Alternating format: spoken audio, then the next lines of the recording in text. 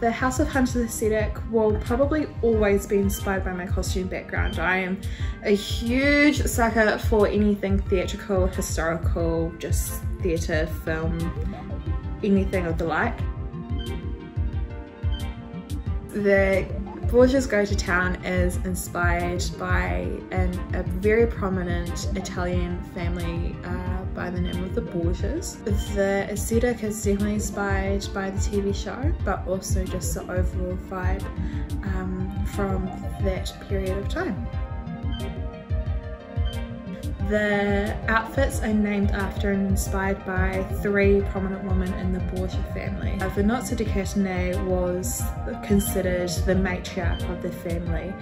Lucrezia uh, Borgia is the daughter of the family and Giulia Farnese was the mistress of the Pope.